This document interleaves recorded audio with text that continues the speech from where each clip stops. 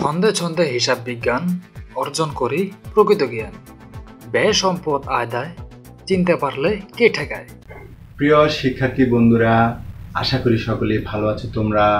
হিসাব বিজ্ঞানের প্রকৃত বিশুদ্ধ জ্ঞানের জগতে আমি রিয়াজুদ্দিন তোমাদের সবাইকে জানাই সুস্বাগত শিক্ষার্থী বন্ধুরা, আজকে আমি তোমাদের আরও একটি প্রশ্নের উত্তর নিয়ে হাজির হয়েছি।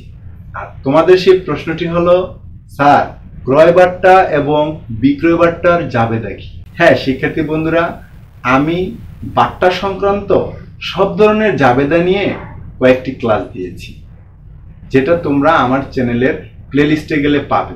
আর সেখানে এই ক্রয় বার্তা এবং বিক্রয় বার্তা নিয়ে আমি কোনো জাবেদা দেইনি।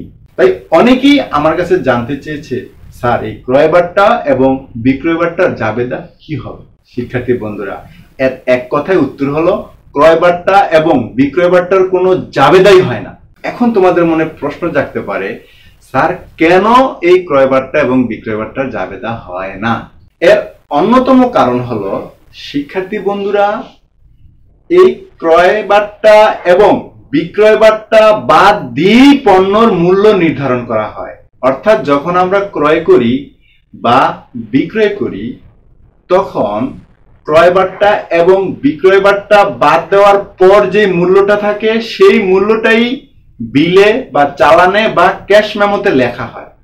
আর হিসাবের খাতায় যখন লেখা হয়, তখন সেই বিল বা চালান বা ক্যাশ মেমো থেকে হিসাবের খাতায় তোলা হয়। আর শিক্ষার্থী বন্ধুরা, আমরা যেহেতু ক্রয় বার্তা এবং বিক্রয় বার্তা বাদ দিয়ে নেট মূল্যকেই ক্রয় নামে বা বিক্রয় নামে, ক্যাশ মেমোতে বা চালানে বা বিলে লিখি এবং সেই মূল্য হিসাবের খাতায় লিখি, তার মানে হিসাবের খাতায় ক্রয় বার্তা বিক্রয় কখনোই লেখা হয় না।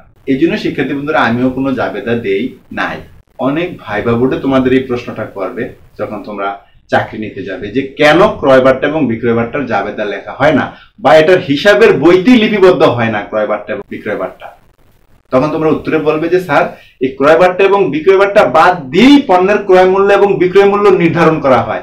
তাই এটা হিসাবের বইতে লিখতে হয় না। তাই এর জাবেদাও হয় না। জাবেদা কেন? এটা কোথাওই যাবে না।